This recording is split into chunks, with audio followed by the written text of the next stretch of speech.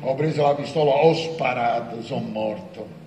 Ma come morivo io, Leone?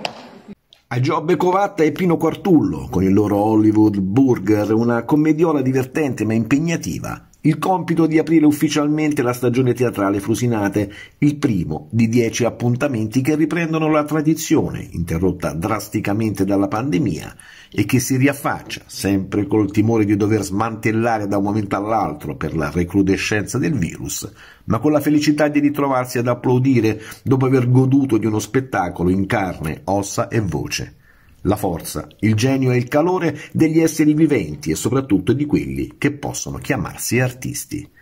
Una serata che ha riservato anche una sorpresa. Nei suoi saluti iniziali il sindaco di Frosinone, Nicola Ottaviani, ha annunciato l'arrivo del secondo teatro comunale, qualità che fa di Frosinone l'unica città ad avere due strutture del genere di proprietà pubblica nel centro-sud d'Italia.